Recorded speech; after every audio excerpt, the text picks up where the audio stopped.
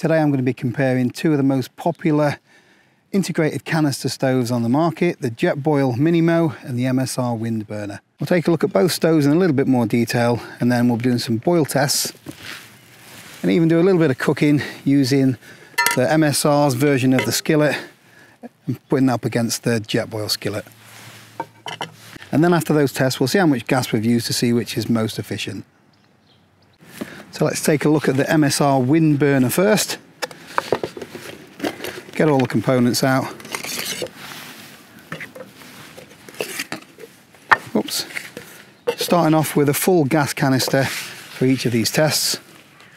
So the personal integration of the Windburner comes with a one litre pot, complete with a cosy.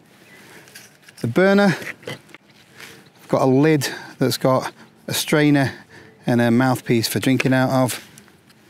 There's also a canister support for your gas and then there is a cup that has got measurements in in both milliliters and fluid ounces.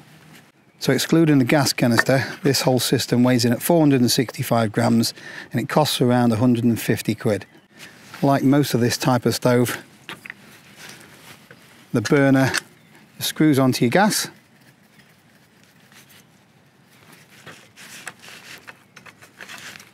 Just pop it into the stand just to give you that little bit of extra stability. And then once you've fired it up, your pot sits on top.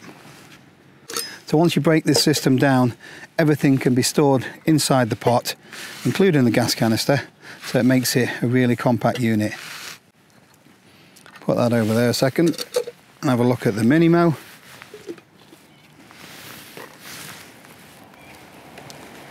So the Jetboil Minimo, very similar design. Comes with a cup. This doesn't have any markers on it. Oh, it does. Yeah, I just can't see them very well. Lid, which houses the gas canister support. You've also got the strainer and the mouthpiece for drinking out of. So in here, there's a little bag which houses your gas canister and the burner. So it doesn't fit on top of each other like the Windburner does. It has to go in sideways like that. Otherwise it doesn't fit. And that's because this pot is not as tall as, as most of this kind of stove. It's actually it's wider, um, but not as deep. So it's still got the same one litre volume. However, it's a bit lower down. I'm not sure if having the wider pot helps with the boil times or anything like that, but yeah, we'll see how that goes in a minute. Get this one set up as well.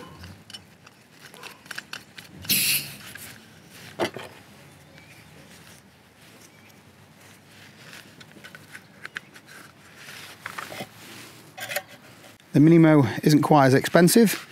It's around 130 pounds and it weighs a little bit less as well at 415 grams. So when you put the two systems together, you can see that the the Windburner is quite a bit taller and narrower uh, than the Jetboil. Not sure if that'll have an impact on the performance, but we'll see when it comes to boiling up some water.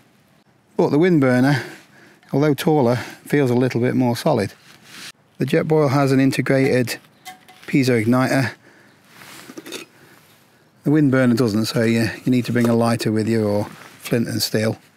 Let's get some water in these and see which one boils quickest. So I'm going to put exactly 400 mil in each.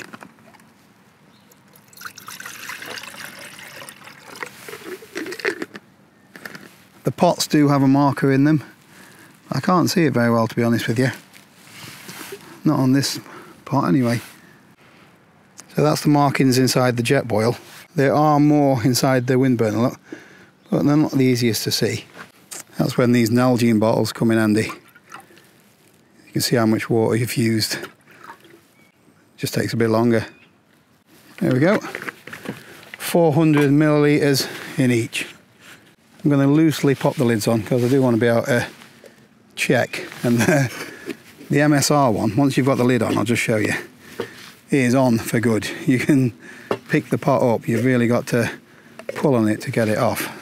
The Jetboil one, again, that's still pretty solid, but I think this is a little bit more flexible on the, the Jetboil. So although this stove's got a built-in igniter, I'm just going to use a separate lighter, just in the interest of speed really.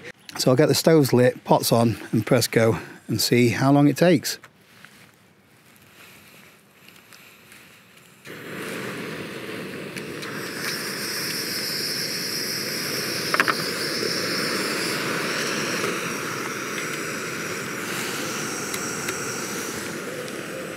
So both stoves you can twist and lock them. So you can actually pick them up. Less than 30 seconds that. Bit of action in both already. Jetboil boiling first. 1 minute 38 seconds. And there we go MSR 1 minute 54 seconds. So very little in that and that's for 400 millilitres of water. So both stoves are really rapid when it comes to boil times. Really impressed with both of them. So before we move on, a quick thanks to Squarespace for sponsoring the video today. So in this modern digital world, it's becoming more and more important to, to have a face on the internet. And it's never been easier to have a website of your own. So we've had a website now for a couple of years and it's coming really handy for promoting our business and the YouTube channel we use Squarespace every day to check on orders and the analytics. So creating a new web page is really easy. You just choose one of the templates and then you customize it by adding your own photos and text. Our newest page is the competitions and giveaways page. And today I've added my latest video to the homepage, which helps send um, traffic to YouTube. So if you want to increase your online presence and have a go at building a website of your own, head over to squarespace.com forward slash Paul Messner. You'll get a totally free trial and 10% off your first purchase. So both of these stoves have also got a pressure regulator on them, so should be constant performance no matter you know how full the gas canister is or you know when the temperatures drop a little bit. You should still get constant gas flow. The handle on the Minimo is sturdier, it is metal and it's got some sort of heat protection on there so you can get a really good grip on it. The MSR is like a fabric that you hold. Um, it, simple, very quick, but I do prefer there is some sort of protection there, plastic behind it so you don't burn your fingers on the pot. But if I had to choose when it came to handle, I think this one's better. So I press the lid on firmly so that's how the mouthpiece flows on the MSR Windburner and that's your strainer. So for all you pasta lovers, I think both of these pots will work well. Jetboil, that's the strainer. And then mouth guard as well. So both of these stoves have different burner types. Jetboil's got more of a traditional type of burner where the flame comes out. And the MSR has got what they call a radiant heat uh, burner. So there's no flame comes out there. It just uses convection, I believe, to, to heat your pans and your pots up. Um, so you won't see a flame, but it makes it much better when it comes to wind resistance. So I've used both these stoves in windy conditions and the MSR easily trumps the, the Jetboil when it comes to performance. So both of these stoves are also very good when it comes to cooking. They're not just for rapid boil times. They've got very fine regulators on them, which means you can control the heat quite well. And both MSR and Jetboil have brought out a skillet to be used in conjunction with these stoves. So Jetboil are famed for having these uh, heat sinks on the bottom of their pots. So the pot sits on top of the burner, it radiates the heat um, and that's what makes the boil times really efficient. The Windburner, very similar. That sits on top. It's also got a heat sink on the bottom of it. Um, however, because there's no flame, everything there is blocked off from the wind. So that's what that's why it's called the Windburner. Um, so it's really efficient in windy conditions. So this is the Jetboil 8 inch skillet. Um, it is ceramic coated aluminium. It weighs 380 grams and costs around 42 pound. It's got a fold away handle, which you just press in and then close. It comes with an integrated spatula which just fits into the handle. The MSR skillet is a bit deeper. This pot is actually 1.2 litre volume. It costs around £65 and only weighs 220 grams. This again, it's got a fold out handle and it is made from ceramic coated aluminium. So the problem with both of these stoves is that you can't just stand a regular pot on top of them. So if you put this pan directly onto this jet Jetboil as it is now, it would just snuff out the flame. And the same again um, with the MSR. You need to have some kind of pot support. Um, this is the one that comes with the jet Jetboil. So this does come supplied with the Minimo. So these arms just fold out. That goes on there and you twist it so it locks in place. So now you put the pan on and there's some clearance there for your flame. But my issue with the MSR is you can't buy one of these for the Windburner. the Jetboil one actually fits on top. But as you can see, know, the area of the burner is drastically reduced due to this, this bit here being covered over. The Jetboil's got a much smaller burner diameter. So very similar to the clip-in design of their pot, MSR have got their own specific pot which fits onto the to the Windburner stoves. It doesn't lock into place, although it is quite secure, and it just fits on top of the burner. But it's also then wind protected to a certain degree. The bottom of the Jetboil skillet has got ridges, which sit on top of these ridges on the arms, and it makes it so the pan's not going to slip off the top. So I brought with me some goodies, a couple of eggs, a couple of slices of bacon, get these fired up and see how the skillets perform.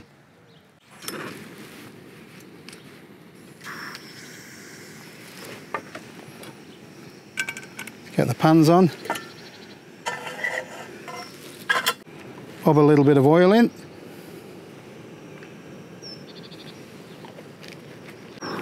Start with the bacon, shall we? I'm going to use the same spatula from the Jetboil on both.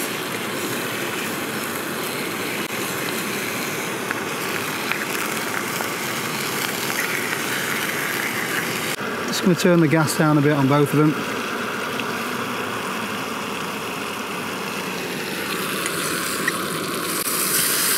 Jetboil definitely has um, the better flame or temperature control.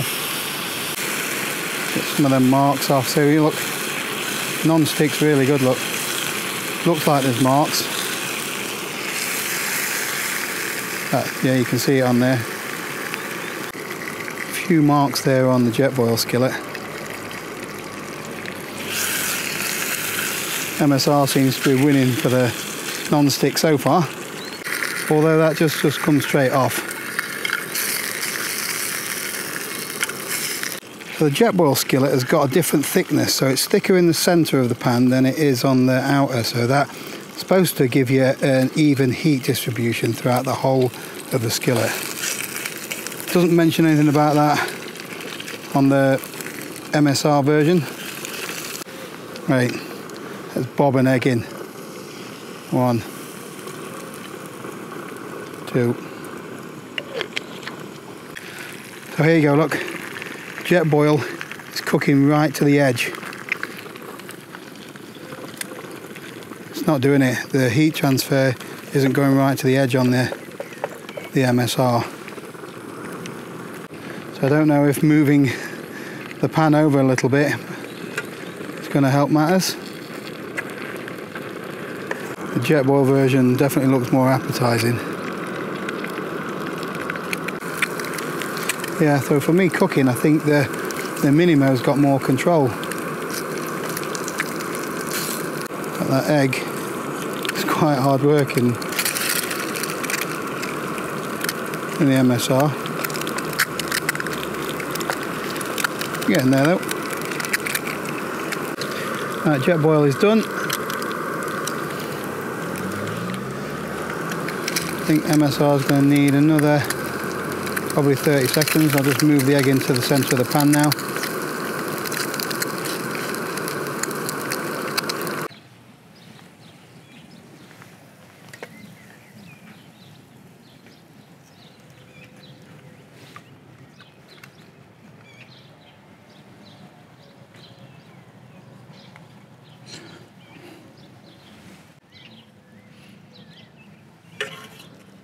You're one of those that puts ketchup on you shouldn't even be watching this video.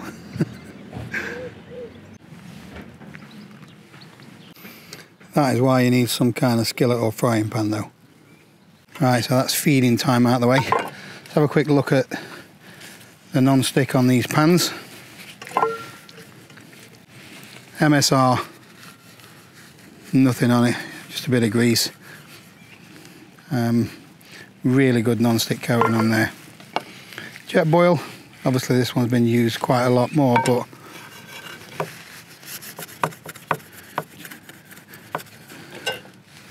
oh yeah, just rub it with a bit of kitchen roll and everything comes off. If I had to choose which non-stick was better, I'd say this one a little bit on the MSR. However, I think this Jetboil skillet transfers heat better. So, you know, you're cooking for the full diameter of the pan, whereas this one seems much more focused in the centre. So that's the boiling and the cooking out of the way. See how easily these pack down, uh, and then see how much gas we've used, and then a few final thoughts.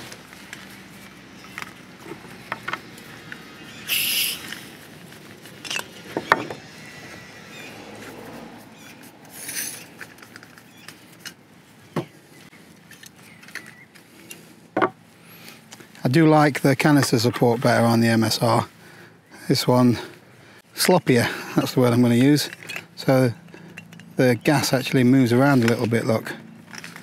Um, rather put the same Jetboil one in here. Much more secure. That slots inside there. Fold that down and put it in the little protective bag. I do like that it comes with a little bag. This one does come with a very small towel thing, but I've lost it. Goes in there. Lid on. Handles in. Job's a good one. Very compact. Windburner. Canister goes in first, upside down. That's when you're better off putting your little uh, bit of cloth at the bottom. The burner fits on top. And you fold these arms in or legs whatever they are and then that fits in the top there. Lid on. Let's get these bases on as well. Right. Rattle test. So you do need some sort of cloth in there to stop things rattling around so when it comes to being compact, it's horses for courses. Uh, this one's shorter but wider. This one's taller but more narrow. So it just depends on how it fits in your pack. The Minimo is a few grams lighter, um, but in your hand you can't feel the difference. So very different shapes considering they're both the same volume when it comes to pot. So I wrote on the bottom of each one, so 200 grams, both of these weighed before we started this. Don't tell Joe, but I've nicked her baking scales. Just turn it on.